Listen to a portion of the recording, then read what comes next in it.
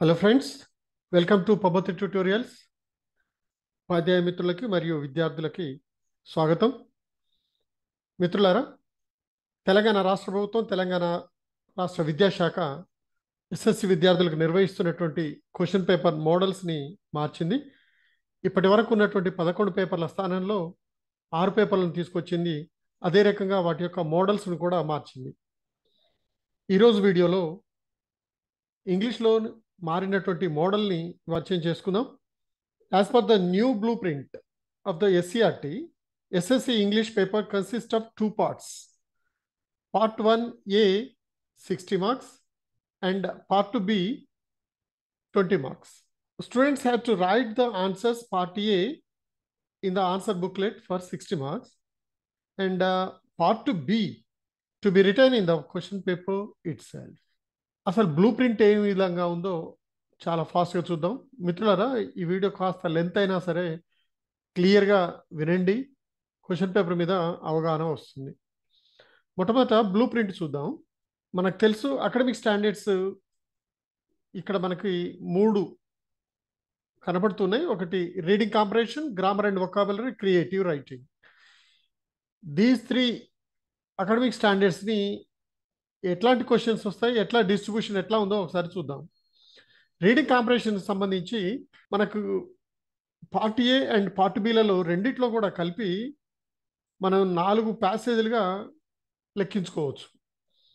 ఎట్లా అంటే పార్ట్ ఏలో కాంప్రహెన్షన్ ప్యాసేజెస్ టెక్స్ట్ బుక్ నుంచి రెండు వస్తాయి. అట్లాగే పై చార్ట్ కూడా ప్యాసేజ్గానే తీసుకుంటే అది ఒకటి తర్వాత ఆబ్జెక్టివ్లో పోయం వస్తుంటుంది. ఈ రెండు ఫస్ట్ క్వశ్చను సెకండ్ క్వశ్చను రెండు ప్యాసేజీలు తర్వాత పై చార్ట్కి సంబంధించింది ఒక క్వశ్చను తర్వాత పార్ట్ బిలో వచ్చేటువంటి పోయం అన్సీన్ పోయం కూడా వీటిని రీడింగ్ కాంపిటేషన్గా తీసుకుంటే నాలుగు ప్యాసేజీలుగా మనం తీసుకోవచ్చు.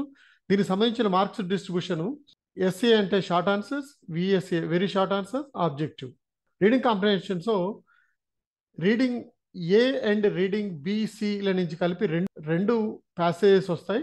మొత్తంగా eight questions eight into three sir twenty four అట్లాగే third question very short answer question కింద పై చార్ట్ వస్తుంది కదా. దాంట్లో ఫోర్ టూ జా ఎయిట్ అట్లాగే పార్ట్ బిలో ఇచ్చేటువంటి అన్సీన్ పోయంకి సంబంధించి ఆబ్జెక్టివ్లో ఆబ్జెక్టివ్లో ఇచ్చినటువంటి క్వశ్చన్స్ ఫైవ్ మొత్తంగా రీడింగ్ కాంపరేషన్ సంబంధించి థర్టీ సెవెన్ మార్క్స్ మనకి seventeen questions thirty seven marks reading comprehension నుంచి వస్తాయి. అట్లాగే గ్రామర్ అండ్ వకాబులరీకి సంబంధించి పార్ట్ ఏలో ట్రాన్స్ఫర్మేషన్ ఆఫ్ సెంటెన్సెస్ ఉంది కదా దానికి సంబంధించినటువంటి ఒక క్వశ్చన్ ఉంటుంది. ఒక క్వశ్చన్ అంటే ఆ ఒక క్వశ్చన్లోనే సబ్ క్వశ్చన్స్ ఉంటాయి.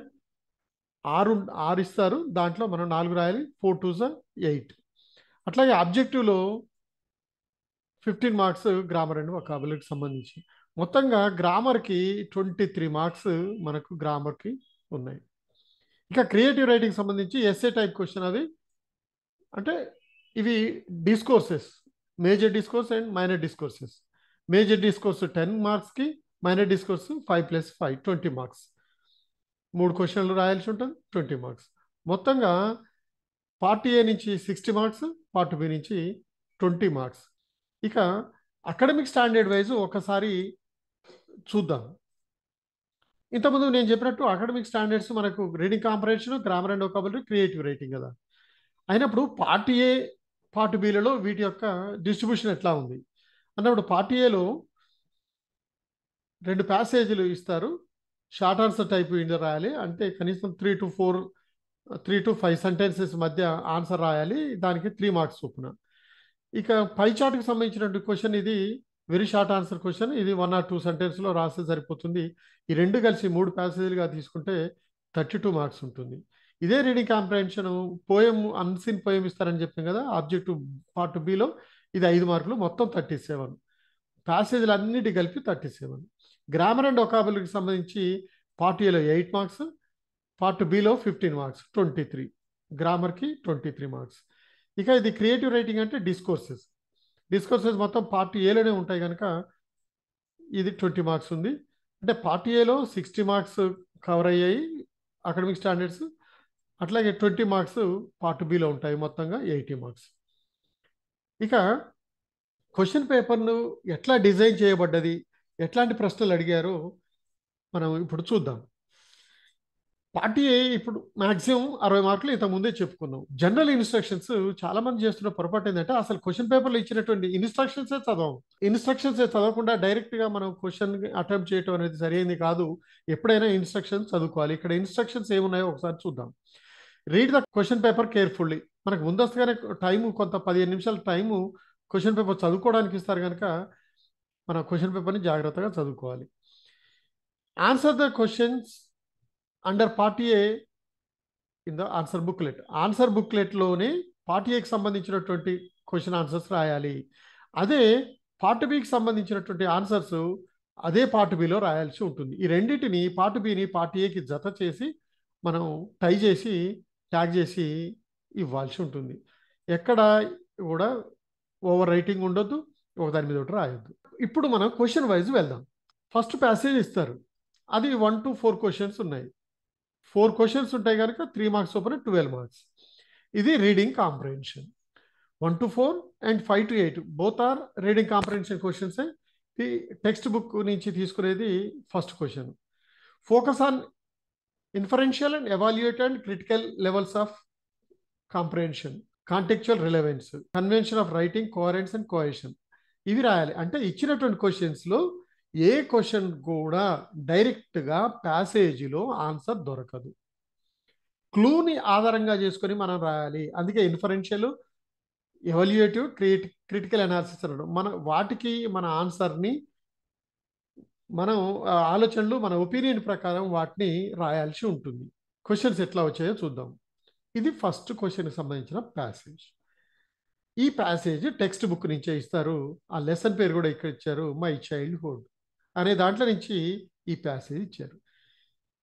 స్టూడెంట్స్ని కోరేది ఏంటంటే ఈ ప్యాసేజ్ని జాగ్రత్తగా చదవండి. మళ్ళీ ఒకసారి క్వశ్చన్ పేపర్ని జాగ్రత్తగా ఈ ప్యాసేజ్ని జాగ్రత్తగా చదవాలి. చదివిన తర్వాత కింద క్వశ్చన్స్ ఉంటాయి. ఫోర్ క్వశ్చన్స్ ఇచ్చారు. ఈ ఫోర్ క్వశ్చన్స్ని చదివి మనము అక్కడ ఆన్సర్లు చేయాలి. టైం సేవ్ చేయాలంటే మొట్టమొదట క్వశ్చన్స్ చదవండి. క్వశ్చన్స్ చదివిన తర్వాత ప్యాసేజ్ చదవటం అనేది కొత్త టెక్నిక్ క్వశ్చన్ క్వశ్చన్స్ చదివి ప్యాసేజ్ చదివితే వెంటనే మనకు answers స్ఫురిస్తాయి.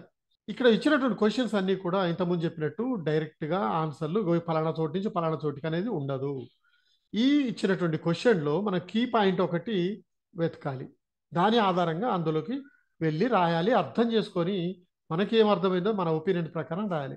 Why do think Shiva Subrahmanyam is wife was horrified what change did Kalam observe the next weekend how did he feel ఇది చూడండి. ఇక్కడ ఫస్ట్ క్వశ్చన్లోనేమో ఇక్కడే అడిగాడు వై డూ యూ థింక్ అని. ఎందుకు అనుకుంటున్నావు? అని. నీకెందుకు అనిపించింది? అని. అంటే ఇక్కడ మన ఒపీనియన్ బేస్డ్ చేసుకొని ఆన్సర్ ఉంటుంది. ఇక్కడ మనకు శివసుబ్రహ్మణ్యం వాళ్ళ వైఫ్ కలాంను తీసుకువెళ్ళినప్పుడు వెనక ముందు ఆడింది. ఎందుకు అనుకుంటున్నావు? అట్లా అని అడిగాడు. దాన్ని మనం ఆలోచించి ఆన్సర్ చేయాల్సి ఉంటుంది. కనీసం three to four lines answer రాయాలి. అప్పుడే మూడు మార్కులు వస్తాయి. అట్లాగే నెక్స్ట్ డే మళ్ళీ లంచ్కి వెళ్ళినప్పుడు ఆమెలో ఏమి మార్పు ఈయన ఏం మార్పు గమనించాడు అనేది మనం రాయాల్సి ఉంటుంది. ఇట్లా ఏది కూడా డైరెక్ట్గా ఆన్సర్ ఉండదు. డైరెక్ట్గా అందులో దొరకదు. అట్లాగే ఇఫ్ యువర్ కలాం ఇక మళ్ళీ ఇక్కడ కూడా చూడండి. కలాం ప్లేస్లో నువ్వు ఉంటే నువ్వే కలాం అయితే ఒకవేళ కలాం నువ్వే అయితే రెండోసారి లంచ్కి పిలిచినప్పుడు వెళ్తావా వెళ్ళవా అనేది మన ఒపీనియన్ని బేస్ చేసుకుని అడిగినటువంటి క్వశ్చన్. ఇక్కడ వెళ్తా అన్న రైట్ అవుతుంది వెళ్ళను అన్న రెండే రైట్ అవుతుంది కానీ జస్టిఫై అనే దానికి రీజన్ ఒకటి రాయాలి ఎందుకు వై? సెకండ్ ప్యాసేజ్ కూడా అలాగే ఉంటుంది. ఇక్కడ చూడండి. కాకపోతే ఇచ్చేటువంటి ప్యాసేజ్ టెక్స్ట్ బుక్లో నుంచి బీసీ నుంచి ఇస్తారు. బీ రీడింగ్ కానీ సి రీడింగ్ నుంచి కానీ ఇస్తారు. క్వశ్చన్స్ మాత్రం సేమ్ ఉంటాయి మార్కులు కూడా సేమ్ ఉంటాయి. అదే ఇన్ఫ్లుయెన్షియల్ ఎవాల్యుయేటివ్ అండ్ క్రిటికల్ ఇక్కడ ప్యాసేజ్ ఇచ్చారు. ఇది ఐ విల్ డూ ఇట్ అనేటువంటి ప్యాసేజ్ నుంచి ఐ విల్ డూ ఇట్ అనేటువంటి రీడింగ్ నుంచి ఇది ఇచ్చారు. దీని ఆధారంగా క్వశ్చన్స్ కాకపోతే ఇందులో ఒక చేంజ్ ఉంటుంది చూద్దాం. ఇక్కడ ఫిఫ్త్ క్వశ్చన్లో కూడా you should have made it statement convey ఏం చెప్తున్నది? అంటే ఏంటి? అట్లాగే why do you think Murthy did not reply Murthy ఎందుకు సమాధానం ఇవ్వలేదు ఇది ఎవరు ఉంటుంది ఎక్కడ ఉంటుంది? ప్యాసేజ్లో ఉంటుందా ఉండదు కదా. మనమే చెప్పాలి. ఇఫ్ యు వర్ మూర్తి మళ్ళీ అదే ఇఫ్ యు ఆర్ మూర్తి నువ్వు మూర్తి అయితే ఏం చేస్తావు? What do what would you do నువ్వేం చేస్తావు? అనేది ఇది మన ఒపీనియనే. ఇది మన ఒపీనియనే. మనకు ఆ ప్యాసన్ అర్థం చేసుకున్న తర్వాత రాసేటువంటి ఇవన్నీ కూడా ఇక ఎయితది ఇందులో ఒకటి త్రీ ట్రూ స్టేట్మెంట్స్. ఈ ఐదు సెంటెన్స్లు ఇస్తాడు ఎనిమిదో ప్రశ్నలు. ఐదు సెంటెన్స్లు ఇచ్చి ఇందులో మూడు మాత్రమే కరెక్ట్ ఉన్నాయి. ఆ మూడింటిని తిరిగి రాయాలి మనం.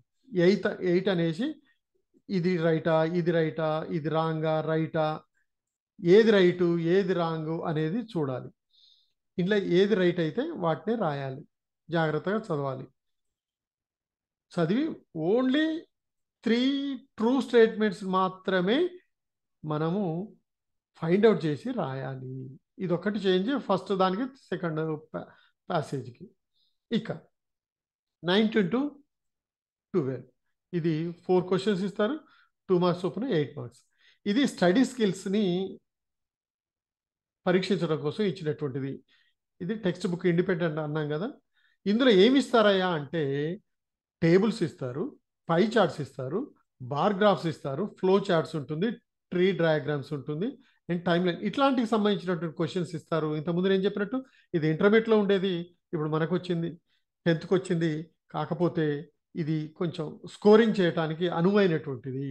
ఎందుకో నేను చెప్తాను ఇది question. Pie chart given below provides information about the students reading interest in different genres literature. ఇది ఉంది కదా ఇప్పుడు ఈ దీన్ని జాగ్రత్తగా అబ్జర్వ్ చేయాలి.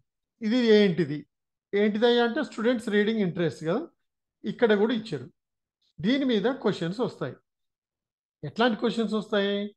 చూద్దాం. What does the pie chart show? అనగానే మనకు అర్థమైపోతుంది పై చార్ట్ షో దేని గురించి చెప్తుంది? Students reading interest. ఇక్కడ కూడా చెప్పవచ్చు మనకు క్లియర్గా ఇది రాసుకోవచ్చు. The pie chart given below given below అనుకుంటా pie chart shows pro shows the information about the students reading interest అని మనం చెప్పవచ్చు.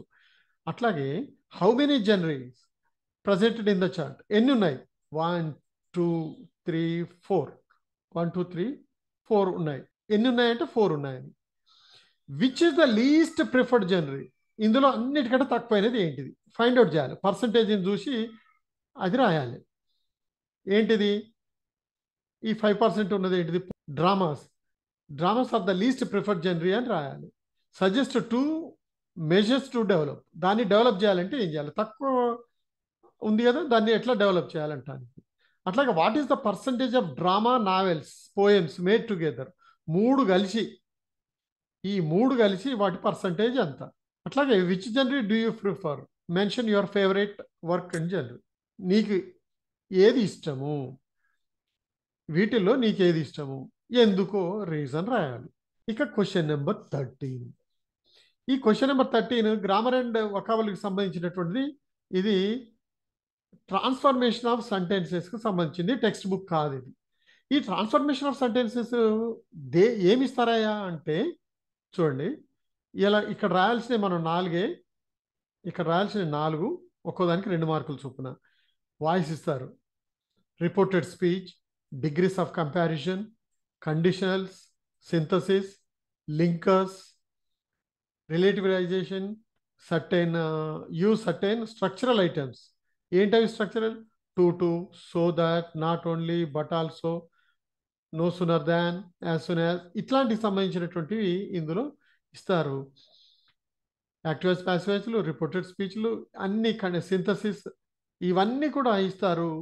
కాకపోతే ఇంట్లో సిక్స్ క్వశ్చన్స్ ఇస్తారు. మనం రాయాల్సింది ఫోర్. కాకపోతే మొత్తం రాస్తేనే మంచిది. ఇక్కడ చూడండి ఒక ఉదాహరణ.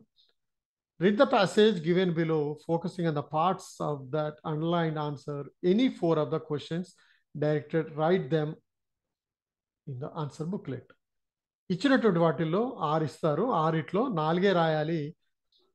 జాగ్రత్తగా మనం అబ్జర్వ్ చేయాలి. Coffee is one of the most popular drinks in the world అని ఉంది. అట్లాగే రెండు మొత్తం సిక్స్ సెంటెన్స్ ఉన్నాయి. వీటి మీద ఏం ఏం అడిగారు? ఇగో సిక్స్ క్వశ్చన్స్ అడిగారు. వీట్ బట్ మనం రాయాల్సింది నాలుగు మాత్రమే. నాలుగు మాత్రమే. ఆరు రాసినా ఇబ్బంది లేదు. ఒకవేళ తప్పుపోయినా కూడా రాయొచ్చు. ఎందుకంటే చిన్నయే కాబట్టి రాయొచ్చు. ఇక్కడ ఇచ్చినటువంటిది rewrite the sentence using very few ఈ coffee is one of the most popular drinks in the world అనేది ఉంది కదా? వెరీ ఫ్యూ అనేటువంటి పదాన్ని ఉపయోగించి మనం ఈ సెంటెన్స్ని రీరైట్ చేయాలి. తర్వాత combine the two sentences synthesis అన్నాం కదా. Combine the two sentences which which అనేటువంటి పదాన్ని ఉపయోగించి విచ్ని ఉపయోగించి ఇక్కడ రాయాలి. It has caffeine it stimulates our mind ఇక్కడ మనం విచ్ని ఉపయోగించి రాయాలి. It has caffeine which stimulates our mind అని రెండింటిని కలిపి రాయాల్సి ఉంటుంది. అట్లాగే relate the sentence using prefer prefer to ఉపయోగించి రాయాల్సి ఉంటుంది. అట్లాగే relate the sentence beginning with relief relief అనేటువంటి పదాన్ని ఉపయోగించి ఫోర్త్ దానికి రాయాలి. తర్వాత rewrite the sentence begin with taking ఫిఫ్త్ది taking అనేటువంటి దానికి ఇది రాయాలి. టేకింగ్ ముందు పెట్టి taking too much coffee affects our health అన్నట్టుగా రాయాల్సి ఉంటుంది. అట్లాగే combine the two sentence using not only but also not only but also అనేదాన్ని లాస్ట్ది moderate intake of coffee is good it is beneficial not only good but also healthy అనేటువంటిగా రాయాలి. Sentence మొత్తం జాగ్రత్తగా రాయండి. రెండింటిని ఉపయోగించి ఆన్సర్ చేయాలి. మీరు ఇటువంటి ఇవి క్వశ్చన్స్ ఎక్కువగా ప్రాక్టీస్ చేయాల్సి ఉంటుంది. We must focus on these questions ఇవి చాలా కొంచెం జాగ్రత్తగా ఎక్కువ సార్లు ప్రాక్టీస్ చేసి రాయాల్సినటువంటి అవసరం ఉన్నది. ఎడిటింగ్ ఒకటి ఇవొకటి చాలా ఎక్కువ కష్టపడి రాయాల్సి ఉంటుంది. గ్రామర్ బేస్డ్గా ఉన్నటువంటిది ఇది ఒకటి జాగ్ర చాలా జాగ్రత్తగా రాయాలి. ఇక క్వశ్చన్ నెంబర్ ఫోర్టీన్. ఇది కూడా ఇది మేజర్ డిస్కోర్స్. ఈ మేజర్ డిస్కోర్సెస్లో ఇక్కడ మనకు రెండు డిస్కోర్సులు ఇస్తారు. దాన్ని ట్వెల్వ్ టు ఫిఫ్టీన్ సెంటెన్స్లో రాయాలి. కనీసం రెండు పేజీలు రాయండి. రెండు పేజీలు రాస్తేనే ఎక్కువ మార్కులు పడే అవకాశం ఉన్నది. అయితే ఇచ్చేటువంటి రెండు ప్రశ్నల్లో ఇంటర్నల్ ఛాయిస్ ఉంటుంది. Fourteenth question. Internal choice. Group A నుంచి కానీ గ్రూప్ బి నుంచి కానీ క్వశ్చన్ రాయాలి. గ్రూప్ ఏనేమో టెక్స్ట్ బుక్ బేస్డ్ ఉంటుంది. గ్రూప్ బినేమో ఇండిపెండెంట్గా ఉంటుంది. ఈ గ్రూప్ ఏలో కొన్ని మేజర్ డిస్కోర్సులు గ్రూప్ బిలో కొన్ని డి మేజర్ డిస్కోర్సులు ఉన్నాయి. గ్రూప్ ఏలే ఉంది? Description story and narrative conversation interview choreography script drama play script. ఈ ఆరు ఈ ఆరు గ్రూప్ ఏ నుంచి వస్తాయి? టెక్స్ట్ బుక్ నుంచి ఒక ఉదాహరణ ఇచ్చి దాని మీద ఈ ఇక్కడ చెప్పినటువంటివి ఏ ఒకటి రాయమంటాడు.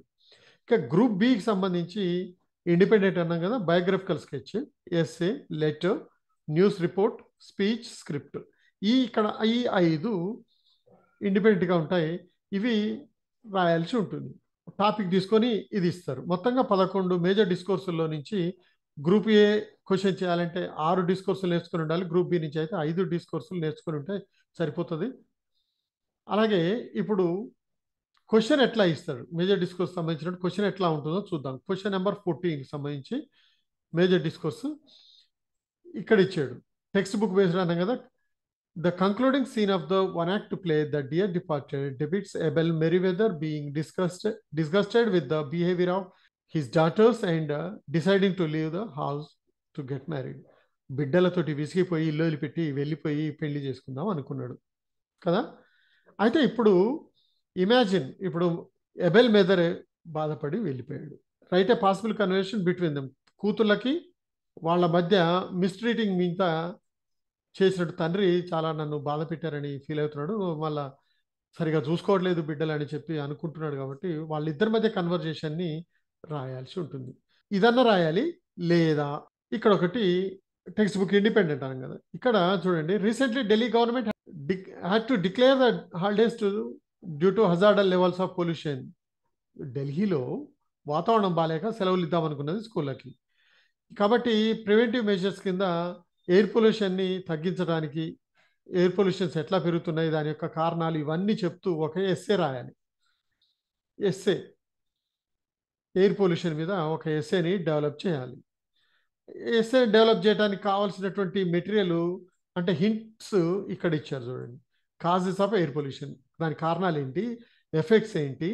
Measures to be reduce air pollution. తగ్గించాలంటే ఏం చేయాలా? దాని యొక్క రెస్పాన్సిబిలిటీ ఆఫ్ అథారిటీస్ సిటిజన్ యొక్క బాధ్యతలు ఏంటియో చెప్తూ ఒక ఎస్ఏ డెవలప్ చేయాలి. ఇంతకుముందు ఇచ్చిన కన్వర్జేషన్ కానీ ఎస్ఏ కానీ రాస్తే సరిపోతుంది. ఇక ఫిఫ్టీన్త్ అండ్ సిక్స్టీన్త్ క్వశ్చన్ సంబంధించి క్రియేటివ్ రైటింగ్ సంబంధించి మైనర్ డిస్కోర్స్ ఇది. మైనర్ డిస్కోర్స్లో క్వశ్చన్ ఫిఫ్టీన్ ఏమో టెక్స్ట్ బుక్ ఆధారంగా ఇస్తాడు.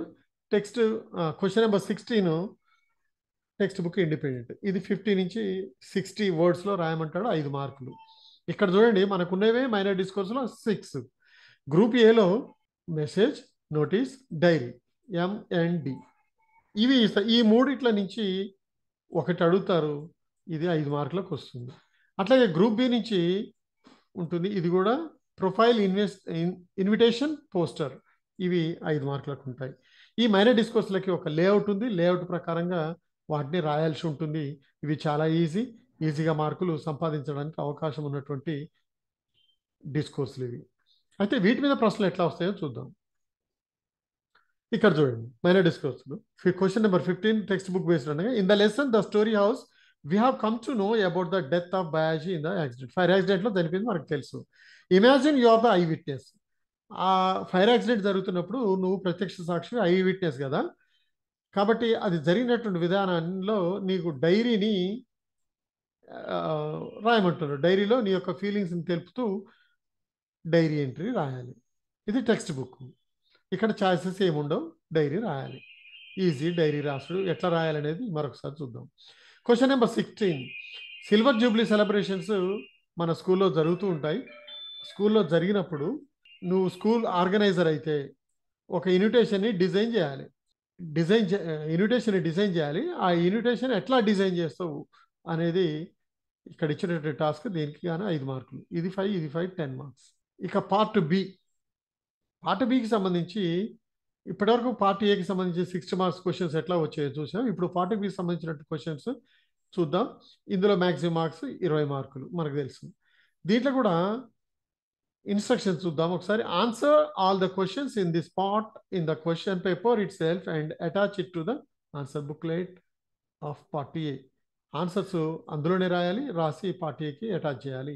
కుట్వేతలు ఒకదాని మీద ఒకటి రాయటం చేయొద్దు. Next question number seventeen to twenty one ఇది first question part below passage poem ఇస్తారు. అన్సిన్ ప్యా పోయం ఇస్తారు. సింపుల్గా ఉంటాయి. సింపుల్గా ఉన్నటువంటి వాటిని ఆబ్జెక్టివ్ పద్ధతిలో క్వశ్చన్స్ రాయాలి. మల్టిపుల్ చాయిస్ క్వశ్చన్స్ ఇస్తాడు. ఇది చూడండి ఇక్కడ ఒక పోయం ఇచ్చాడు. ఒకటికి రెండు సార్లు చదవాలి. చదివి దీని మీ ఆన్సర్ క్వశ్చన్స్ ఇక్కడ ఇస్తారు వాటిని రాయాలి. Answer the questions each question has four choices. ఎన్సిక్యూలు కదా చాయిసెస్ ఉంటాయి. కరెక్ట్ ఆన్సర్ని ఏబిసి రూపంలో మనం రాయాల్సి ఉంటుంది. Who are seeing the wind neither I nor you it means ఇక్కడ was in the wind neither I nor you అంటే అర్థం ఏంటి? The poet has in the wind poet చూస్తాడా? నువ్వు చూడవు నేను చూడను అంటే అర్థం ఏంటిది? No one can see the wind అనే అర్థమా? ఎనీ వన్ కెన్ సీ అనా? దీనికి సంబంధించినటువంటి ఆన్సరు ఏనా బీనా అనేది మనం ఇక్కడ ఆన్సర్ చేయాలి. అట్లాగే సెకండ్ క్వశ్చన్ కూడా. ఇక్కడ but when the leaves hang trembling the literary device here is అన్నప్పుడు ఆకులు వణుకుతున్నాయి. అంటే అర్థం ఏంటి? అంటే సిమిలి అది పర్సానిఫికేషనా మెటాఫరా ఇదా. సిమిలి అంటే లైక్ వస్తుంది పర్సానిఫికేషనా మెటాఫరా హైపర్బోలా ఈ యొక్క లక్షణాలు మీరు చూడండి. వీటి ఆధారంగా దాది ఏంటో మనం చెప్పాలి. Next third question the tone of the poetess అందులో చెప్పినటువంటి రచయిత యొక్క భావము లేదా యొక్క యొక్క ఉద్దేశము ఎట్లా ఉంది? ప్లీజింగా సీరియసా అసెటివ్ అథర్టివా ఎట్లా ఉంది? ఆయన యొక్క టోన్ ఎట్లా ఉంది? అట్లాగే ఈ క్వశ్చన్ ట్వంటీ ఎయిత్ ఇట్లా ఐదు క్వశ్చన్లు ఇస్తారు. ఐదు క్వశ్చన్లని ఆన్సర్లు మనం బ్రాకెట్లలో అక్కడే మనం రాయాల్సి ఉంటుంది. ఏ అయితే ఏ బి అయితే బి మనం ఆన్సర్లు రాయాల్సి ఉంటుంది. Next question number twenty two twenty six editing ఇంతకుముందు చెప్పాను కదా ఎవరైతే క్వశ్చన్ టెక్స్ట్ బుక్ ఎవరైతే బాగా చదువుతారో వాళ్ళకి ఎడిటింగ్ మార్కులు సాధించే అవకాశం ఉంది. కొంచెం టిపికల్ ఇది. కొంచెం అందరికీ కొంచెం కష్టతరమైనటువంటిదే. ఇందులో టెన్స్ అడుగుతారు వర్డ్ ఆర్డర్ అడుగుతారు డిటర్మైనర్స్ అడుగుతారు ప్రిపోజిషన్స్ వర్డ్ ఫామ్స్ పిఎన్జి ఈ దీనికి సంబంధించినటువంటి క్వశ్చన్స్ ఇందులో వస్తాయి. చూద్దాం. ఇక్కడ ప్యాసేజ్ ఇచ్చాడు. In the following passage five sentences are numbered and each as an er error ప్రతి ఒక్కటి తప్పు ఉంది ఇంట్లో ఓన్లీ ఫస్ట్ సెంటెన్స్ మాత్రమే రైట్ ఇస్తాడు మిగతా అవన్నీ రాంగ్ ఇస్తాడు. ఒక్కోసారి ఒక్క క్వశ్చన్లోనే రెండు రాంగ్ రెండు పదాలు లేదా రెండు చోట్ల రాంగ్ ఇచ్చే అవకాశం కూడా ఉంది. ఈ పద ఈ వాక్యాలని మనం కరెక్ట్ చేసి ఇక్కడ రాయాలి. పూర్తిగా రాయాలి. ఓన్లీ పదాలు రాస్తున్నారు చాలామంది పిల్లలు పేపర్ వాల్యూ చేసేటప్పుడు పదాలు కాదు మొత్తం రాయాలి. ఉదాహరణకి he poured himself himself a mug and handed me to the can అనేది ఇక్కడ ఒకటి ఎడిటింగ్ అంటేనే ఒక ఎక్స్ట్రా వర్డ్ చేరటము ఒక పదాన్ని తీసేయటము వర్డ్ ఆర్డర్ మారటము లేకపోతే వర్బ్ ఫామ్ మారటము జరుగుతూ ఉంటుంది. అట్లాంటి దాన్ని మనం ఫైండ్ అవుట్ చేయాలి. ఇక్కడ ఏ లేదు ఏ పెట్టి రాయాలి. He then arranged the belt who was attached to the trunk carefully on his forehead ఇక్కడ కూడా ఆన్సర్ రాంగ్ ఉంది ఇది హూనా ఏముంటుంది అనేది మనం చూసుకొని రాయాలి.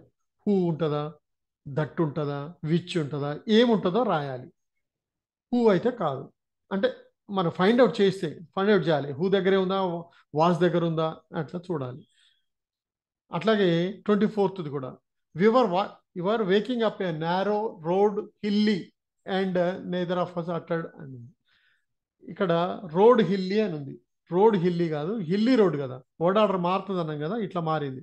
జంబుల్ అటు ఇటు అవుతుంది అట్లాగే I did not know what was going going in his mind ఉంది కదా ఆన్ హిజ్ మైండ్ అని రావాలి. From the time to time it cross my mind that it was improper for me to to let the father carried carried carry the luggage అని ఉండాలి. ఇవి వీటిని ఇక్కడ రాయాల్సి ఉంటుంది. ఇది ఎడిటింగ్ ఇక twenty seven to thirty one ఇది క్లోజ్ టెస్ట్ క్లోజ్ టెస్ట్ ఏమిటి? ఇది టెక్స్ట్ బుక్ ఇండిపెండెంట్ ఉంటుంది. ఇక్కడ focus should be on word forms tense determiners pronouns phrasal verbs మీద లింకర్స్ ప్రిపోజిషన్స్ మీద రాయాలి. క్లోజ్ టెస్ట్ అంటే ఒక ప్యాసేజ్ ఇస్తాడు. ప్యాసేజ్లో బ్లాంక్స్ ఉంటాయి. ఈ బ్లాంక్స్లో ఏదో ఒక పదం ఉండదు. దాన్ని మనం రాసుకోవాల్సి ఉంటుంది. దాన్ని ఇక్కడ ఫైండ్ అవుట్ చేయాలి. ఇక్కడ ట్వంటీ సెవెంత్ది ఇక్కడ ఆన్సర్స్ ఉంటాయి. ఏ బిసిడి అని ఉంది సోనా ఎండా ఎట్టా ఇది రాయాలి An aeroplane is just like a metal bird. It has a huge body, dash large wings. So large wings and large wings at but ఇట్లా దేని సరిపోద్ది? హ్యూజ్ బాడీ అండ్ లార్జ్ వింగ్సా హ్యూజ్ బాడీ అండ్ బట్ వింగ్సా అనేది చూసి జాగ్రత్తగా రాయాలి. అట్లాగే ఇది కూడా. ఫాస్టెస్ట్ మోడ్ ఆఫ్ ట్రావెలా మోడ్ ఫర్ ట్రావెలా అట్లా ఇది రాయాలి. ఇక్కడ మనం ఫైండ్ అవుట్ చేయాలంటే ఇక్కడ ప్రజెంట్ టెన్స్ ఇచ్చాడా? పాస్ట్ టెన్స్ ఇచ్చాడా? దానికి సంబంధించి మనం పెట్టేటువంటి ఆన్సర్లు కూడా డిపెండ్ అయి ఉంటాయి. ఈజీగా గుర్తుపట్టవచ్చు ఒకవేళ ప్రజెంట్ టెన్స్ ప్యాసేజ్ కనుక అయితే ప్రజెంట్ టెన్స్ సంబంధించింది. పాస్ట్ టెన్స్ అయితే ప్రజెంట్ పాస్ట్ టెన్స్ సంబంధించినటువంటి వర్బ్ ఫామ్స్లు పెట్టే అవకాశం ఉంటుంది. వాటిని జాగ్రత్తగా చూడాలి. అట్లాగే ఇలా ఆర్టికల్స్ సంబంధించినటువంటివి ఉంటాయి. ఓవెల్ లెటర్ ముందు ఓవెల్ సౌండ్ వచ్చినప్పుడు ఏ వస్తుందా? యాన్ వస్తుందా? లేకపోతే దా వస్తుందా? లేకపోతే దాని ముందు ఏముంటుందో ఒకసారి చూసుకోవాలి. అట్లాగే రిలేటివ్ ప్రొనౌన్స్ కూడా ఉంటాయి. తర్వాత సింథసిస్కి సంబంధించినటువంటి క్వశ్చన్స్ ఉంటాయి. ఇట్లా జాయిన్ చేయడానికి కాంబైన్ చేయడానికి ఉండేటువంటి హూ విచ్ వాట్ వీటికి చే వీటికి సంబంధించినటువంటి ఉంటాయి ప్యాసేజ్ చదివి జాగ్రత్తగా ఆన్సర్ చేయాలి. ఇది కూడా కాస్త ఈజీయే. ఇక last question thirty two thirty six. దీనికి సంబంధించి ఎలిమెంట్స్ ఆఫ్ ఒకాబులరీకి సంబంధించినటువంటి క్వశ్చన్ ఐదు క్వశ్చన్ ఐదు క్వశ్చన్స్ ఇస్తారు? ఐదు క్వశ్చన్స్ మనకు ఇన్పుట్ ఇస్తాడు. ఇన్పుట్ బేస్ చేసుకొని సిరినేమ్స్ యాంటనిమ్స్ కాలకేషన్స్ అంటే రెండు జంట పదాలు అంటాం కదా అవి కప్ అండ్ సాసర్ తర్వాత పవర్ఫుల్ ఇంజన్ అట్లా. హోమోఫోన్స్ హోమోఫోన్స్ అంటే తెలుసు కదా one word substitutes spellings replacing with suitable words వీటి బేస్ చేసుకొని క్వశ్చన్స్ వస్తాయి. ఆ క్వశ్చన్స్కి ఆన్సర్లు మనం చేయాలి. ఇక్కడ వర్డ్ ఒకటి రాస్తే సరిపోతుంది. ఇట్లాంటి ప్యాసేజ్ ఇచ్చాడు. Read the following passage and focus on the underline parts ఈ అండర్లైన్ చేసినటువంటి దానికి మీద మనం అర్థం చదువుకొని రాయాలి. సెంటెన్స్ అంత చదువుకోండి. అమేజ్డ్ అని ఉంది ఇక్కడ ఐ వాజ్ అమేజ్డ్ అని ఉంది కదా. దాన్ని write the meaning of the underline word amazed అంటే ఏంటి? అమేజ్డ్ అంటే సర్ప్రైజ్డా లేకపోతే ఇంకేదైనా ఉందా? అట్లాగే థర్టీ త్రీకి సంబంధించి ఇక్కడ సన్ అని ఉంది. ఇక్కడ ఏమన్నాడు? Replace the underline word with the correct correct one of the which one pronounced similarly దీనిలాగే పలుకుతున్నటువంటిది కరెక్ట్ పదం రాయాలి. ఇది సన్ అయితే కాదు. దీనిలాగే పలికే పదం ఒకటి ఉన్నది. అదేంటిది? ఏ సన్ అది? ఎస్ఈ అన్న ఎస్ఓ అన్న అది. అట్లాగే థర్టీ ఫోర్త్ది కూడా ఇక్కడ ఏమన్నాడు? అపోజిట్ మీనింగ్ అన్నాడు. సర్వెంట్కి అపోజిట్ ఏంటి? అట్లాగే thirty ఫిఫ్త్ది replace the underline word with correct form. Correct form ఇది ప్లే ప్లేమేట్కి కరెక్ట్ ఫామ్ ఏంటి? అట్లాగే replace the underline word suitable word. Suitable word ఏంది? కమాండ్స్కి కామెంట్స్కి షూటబుల్ వర్డ్ ఏంటిది? పుస్తకంలో కమాండ్ అని ఉంటుందిగా? కమాండ్ ఉందా కామెంటా ఏదో సరిగ్గా రాయాలి. టెక్స్ట్ బుక్లో ఏమున్నదో అది రాస్తే కరెక్ట్ అవుతుంది ఇవన్నీ కూడా జాగ్రత్తగా క్వశ్చన్ పేపర్ చదువుకోవటం జాగ్రత్తగా నింపాదిగా ఆలోచించి రాయటం ద్వారా మనం ఎక్కువ మార్కులు పొందే అవకాశం ఉంటుంది. ఇది మిత్రులారా ఈనాటి వీడియో? ఈ వీడియో మీకు క్లియర్గా అర్థమైందని భావిస్తున్నా ఈ అర్థమైతే ఈ వీడియో మీకు నచ్చినట్టయితే షేర్ చేయండి లైక్ చేయండి. సబ్స్క్రైబ్ చేయండి.